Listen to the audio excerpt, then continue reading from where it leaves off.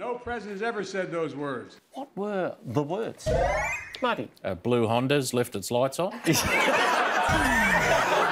pains me to announce that I have no option but to resign from the office of Premier.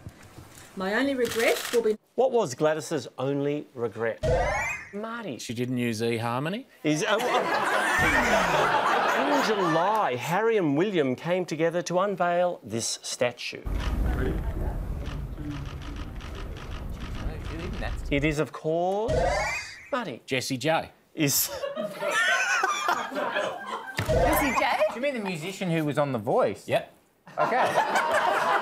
Is it Jessie J? Well, She's let's English. just, can we please wait and see, Tom? all right. You've only got two options trap them or bait them using poison. what's he talking about? Uh, Marty. Justice Crew. Is, Fresh, man. Jessie Not J, people. Justice Crew. That's fresh stuff. G'day Tom, g'day everyone. Dylan Alcott here. Now, what big announcement did I make this week? Hmm, what big announcement did Dylan make, Marty? He's been bunging it on. Is so